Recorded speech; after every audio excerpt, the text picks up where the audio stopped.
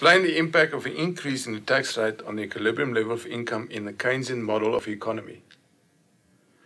Right, so we have to explain the impact of an increase in tax rate. Keynesian model.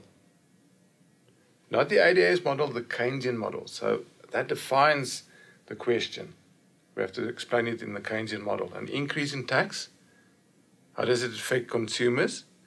Increase in tax decreases disposable income. Disposable income decreases, consumption spending will decrease.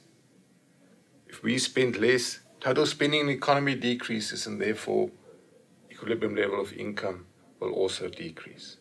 If we show it in the chain of causality, there's an increase in the tax rate leading to a decrease in disposable income. Decrease in disposable income leads to a reduction in consumption spending and therefore a decrease in aggregate spending and thus a decrease in equilibrium level of income. That's all. Don't be confused with prices and all those things because we're working in the Keynesian model. That's important.